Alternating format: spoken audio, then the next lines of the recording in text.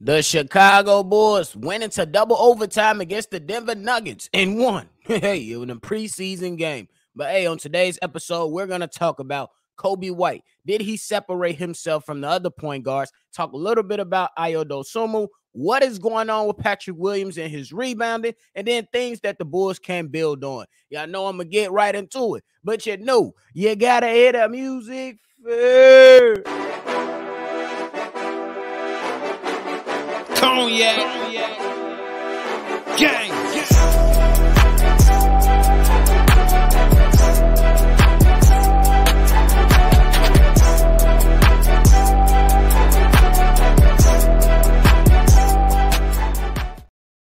Chi Bulls podcast with the Cognac Boys. I'm Cognac Boy Bobby, and I'm holding it down for me and my co-host C Dub on another episode of Shot Boys podcast. If you like what you're listening to today, hit the like button, subscribe to the channel, and hit the notification bell so every time we drop, you be one of the first ones to know. Now, look, the Chicago Bulls, I couldn't believe that they wanted to go into a double overtime game during preseason. NBA, can we please fix this? No overtime games in preseason. There's no reason to go into extended play before we get into the real season. I understand. Maybe maybe in the first overtime, let's go ahead and let's just break it down and have a target score so it could be done and be over with. There's no reason in my in my opinion to play double overtime. You know what I'm saying? You should just left it right where it was at at the end of regulation. If you want to go ahead and have extended basketball, set a target score and let's end it. Let's end it. Please, let's end it. There's no reason we should be up this late. There's no reason we should be up that late to watch preseason basketball. Look, I love basketball, but we got to draw the line somewhere. I'm just saying. But that's just a quick little rant before we get into it all because I'm like double overtime. Oh no, we can't do it, y'all. we can't do this. Can't do it.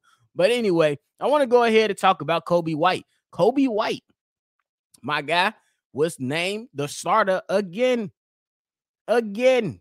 Him and Patrick Williams were, named the starters again in the Bulls' second preseason game. Does this mean that Coby White is the de facto starter? No, not yet. Not until the Bulls announce it. I'm not going to sit here and say, hey, he has the job. You know what I'm saying?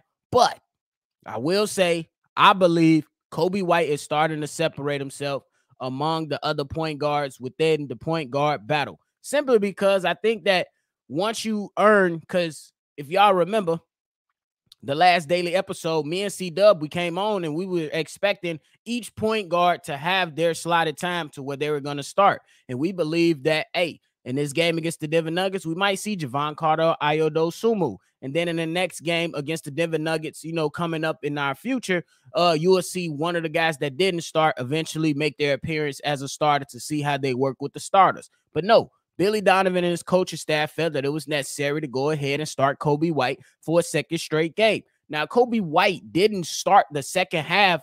That was granted to Ayo Dosunmu, and Ayo Dosunmu took advantage of it. But I want to continue to talk about Coby White before we get into that. Coby White last night shot four for seven from the field, only shot one three pointer, and then ended with four assists, eight points. Uh, he did have three turnovers, which is not good. You know what I'm saying? But if for my plus minus guys, he was still plus three in the box score, and he was still able, he was still out there, still creating things for himself and others. So that's something that I like that I liked uh yesterday in last night's game against the Denver Nuggets. You seen Coby White still look comfortable out there.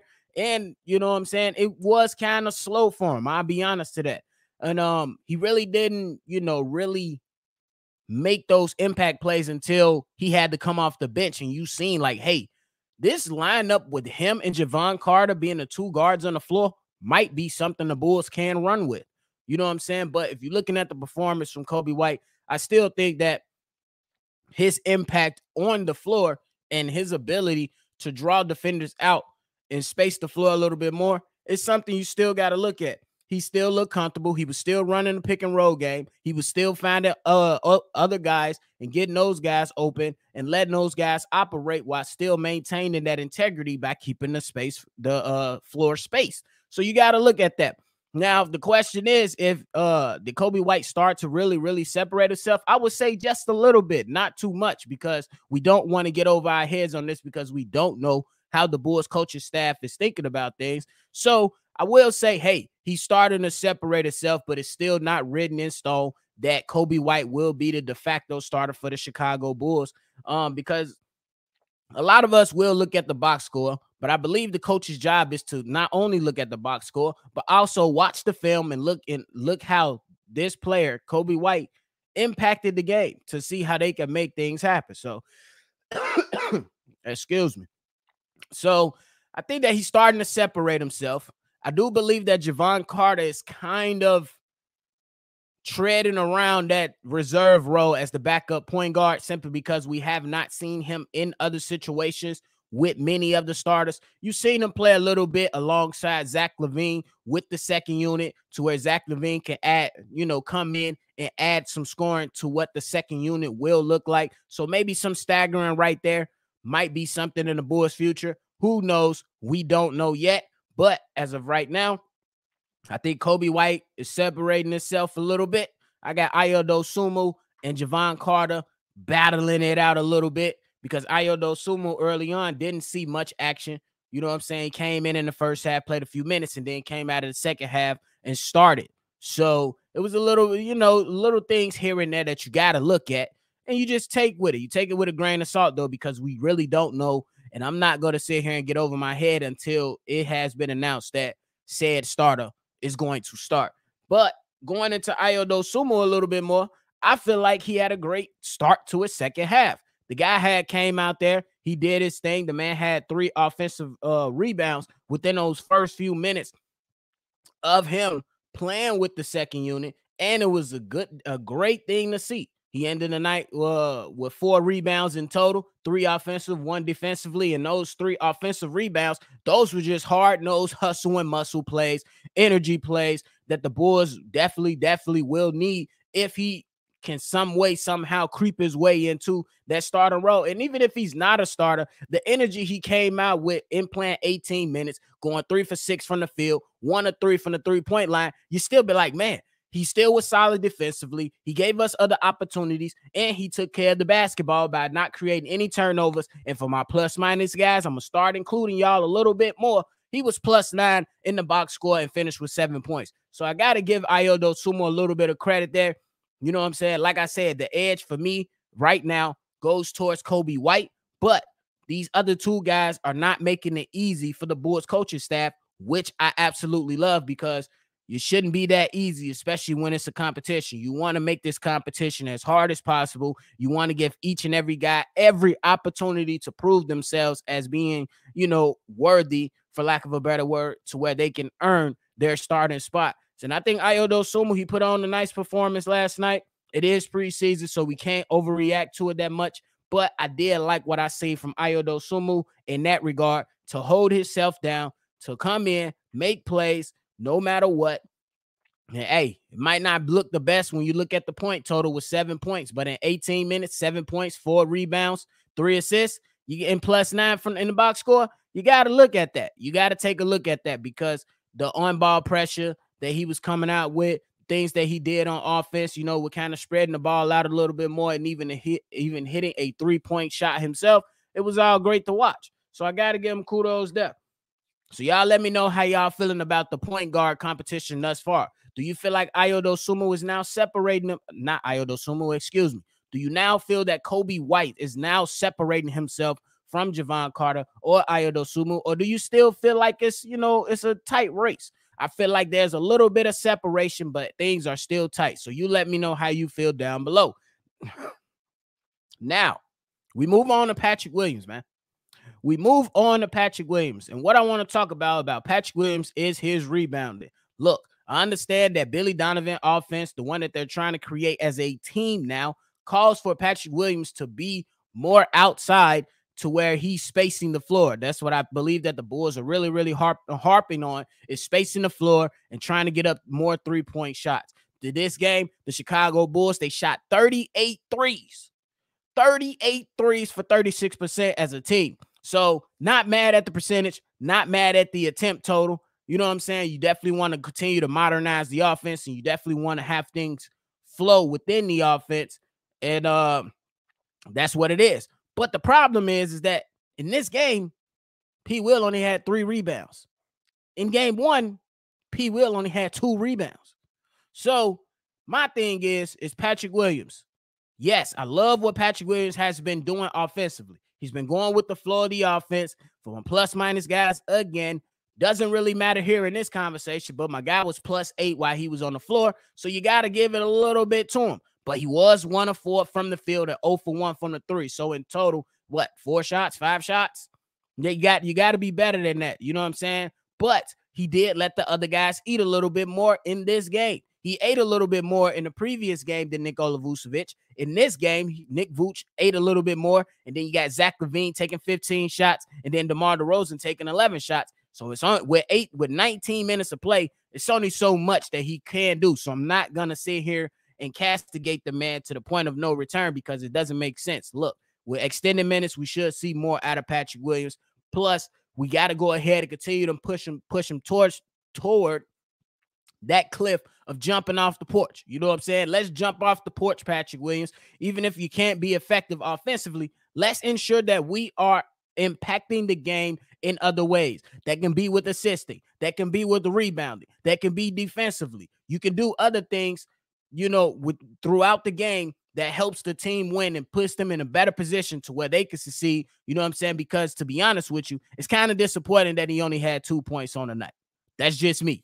It's kind of disappointing. You know what I'm saying? I'm not gonna go too crazy on it. It is preseason, got to take it with a grain of salt. But I want to see Patrick Williams start to, you know, build some consistency, you know, within that lineup. You know what I'm saying? And we all know that DeMar DeRozan, Vooch, and Zach LaVine will be the three main guys scoring. But you want to see more of an offensive, you know, uh, push from Patrick Williams. He only took four shots, y'all. Only took four shots from the field and one three point shot. You know what I'm saying? And I just want to continue to push him to being aggressive. We know how big this season is for Patrick Williams, and we all need to get on one, you know, one accord. And when it comes to the point total, I'll be like, all right, cool. Because the preseason Bulls still trying to work it out, only played 19 minutes. That's fair. You know what I'm saying? But in garbage time, you got guys like Julian Phillips, who got you eight points. Andre Drummond in 14 minutes got you six points. So I'm just saying, P. Will, you couldn't give me four to six points, bro. You couldn't give me more than that. That's all I'm asking for. Just give me a little bit more. Or if you're not able to give us the point total that that that, that you know is that I desire, let's impact the game in other ways. Let's get five, six, seven rebounds, not three. You know what I'm saying? Because I feel like that's not good enough. And I'm not trying to pick on them. I'm just going ahead and stating what the, what's going on with the rebounding. Uh, Patrick Williams is supposed to be playing the four. I know there's going to be conversation that said he belongs at the three. I'm not disputing that. But right now, he's playing at the four. And you got to have the impact of rebounding a little bit more with the center. The center, he to eat. He gonna eat all of he gonna gobble up all the rebounds. You know what I'm saying? Nick Vooch, my man's on the night, had four rebounds. So should I really be picking on Patrick Williams? Nah, maybe not so much. You know what I'm saying? Because Vooch only in 22 minutes only had four rebounds. Patrick Williams only played 19 minutes, had three rebounds. I guess it's cool. So we'll just back off from that. But for me, you know, that's just something I want to see a little bit more. Y'all think I'm being too pushy? y'all kind of agree with it that P Will needs to affect the game with, you know, um, a little bit more with rebounding if his points are not or the shots are not falling for him, or do y'all think I'm doing too much? Y'all let me know in the comments. I might be doing too much. It's just that two rebounds last game, three rebounds this game. Something got to start the level warfare, especially with the aggression. You know what I'm saying? Because you're seeing in the second half, Ayo Dosunmu, he was able to get his three offensive rebounds in a span of a few minutes by simply hard hustle, muscle, and some energy. So let's get that hard hustle, muscle, and some energy from Patrick Williams. That's just all I'm gonna leave it at right there. So let's see if we can correct that. But now I want to go ahead and end this thing off by talking about the things the Chicago Bulls can build on. So the Chicago Bulls, it was great to see that they went into double overtime for some people, not me, but they did win the game. So I guess it wasn't all too bad to you know get some extra basketball. You know what I'm saying? So some of the things that I believe that the Chicago Bulls can continue to build on is correcting their defensive rotations. Too many easy baskets. And I know that a lot of people gonna say, well, it's Joker and Jamal Murray. That pick and roll is damn near unguardable. Facts. But we as as unguardable as it is, that doesn't mean that people should be out of position. Communication is key. Communication is key. We got to communicate. And you don't, you might not stop it, but is there a body there to try to stop it? You know what I'm saying? Is there a body there tr- trying to stop it? You know what I'm saying? So that's something that I think that the Bulls need to get better on. You know what I'm saying? Defensive communication, definitely with the rotations as well. Communication, rotations, and all that stuff comes with energy and effort. It is preseason, so I'm not going to sit here and harp on it too bad. But we know that preseason, you know, you want to start to build those build those habits early so you can take those into the regular season and then you be good to go. So I want the Bulls to start building out this mentality. Hey, we're gonna communicate on defense. We're gonna play some hard-nosed defense. You're probably not gonna play it too much hard-nosed in the playoffs. I mean, in the preseason, but you still want to at least have guys in position. You know what I'm saying? So that's one thing. The next thing, turnovers. You know what I'm saying? I want the Bulls, they did in the game with not a horrible turnover rate, but they had 22 turnovers, man. We got to get that down. Uh, you know what I'm saying? And some of that probably would have been on, you know what I'm saying, some of the reserves that came in, you know, to get their time and things or whatnot. But even when the starters was out there, it was a bit, you know what I'm saying, a bit loose with the basketball. You know what I'm saying? We seen some plays. We got turnovers from Patrick Williams, one, three from DeMar, three from Vooch, three from Coby White, three for Zach LaVine. We got to get, we got to keep those down because even if um, even if we looking at some of the younger guys, most of those guys only had one turnover. Our starters, every starter except Patrick Williams had three turnovers. We have to take care of the basketball. And I understand that we still working out some kinks trying to, you know, uh attack the basket a little bit more and things like that with the driving kicks. And that's kind of what's come trying to become the philosophy of the new the new Bulls offense. But at the same time you got to take care of the basketball bro. You have to. Because right there between your starters that's 13 turnovers bro. These no no starter play over 24 minutes. No starter play over 24 minutes. And that's 13 turnovers from the starters. You know what I'm saying? So we gotta we gotta tighten that up. That's all I'm gonna say. We gotta build off that, tighten that up, make sure we good to go. Now, one positive that I could think we definitely need to continue to build on is attacking the paint. Attack the paint because uh Coby White he can get into the paint. Seems like he's working on it to where he can get to that level when he can just get to it just whenever he wants to. You know what I'm saying? Still not gonna grant him that yet, but with the foot speed, with the increased uh in with the increased and improved handling, he can get there in the paint and then do a driving kick. You got DeMar DeRozan, who's a mid-range assassin. He can operate within there and make things happen as well. We know Patrick Williams, Probably not to the level of a Zach LaVine or DeMar, but he can get there. And then you got Zach LaVine, who pretty much his first eight points was in the paint. So you got to continue to build off that. And I believe that if you build off that, you can start continue. You can continue to open up shots for others because you seen Alex Caruso go four for six from the three point line. Hey, that's pretty damn good. That's pretty damn good. Jevon Carter two from three from the point from the three point line. That's pretty damn good. That's the type of stuff that you need. And then we just need to make sure that our starters are on the same accord and that if they are going to take the shots, they are within the floor of the offense and they are good shots. So let's continue to build off those things. Let's make sure defensive communication is solid. Let's make sure that we continue to attack the paint. And let's inc- let's make sure that we are rebounding at a rate that'll make us, you know, respectable around the league and and that will give us more chances against the opposing team. So that's it for me today. Y'all let me know how y'all feeling about all this. Excuse me, how y'all feeling about all this down below. And we gonna chop it up all day. This is another episode of Chi Bulls Podcast. Hit the like button, subscribe to the channel if you haven't done so, and hit the notification bell. So every time we drop, you be one of the first ones to know. I'm gonna catch y'all on the next one for sure. Cognac. Gang.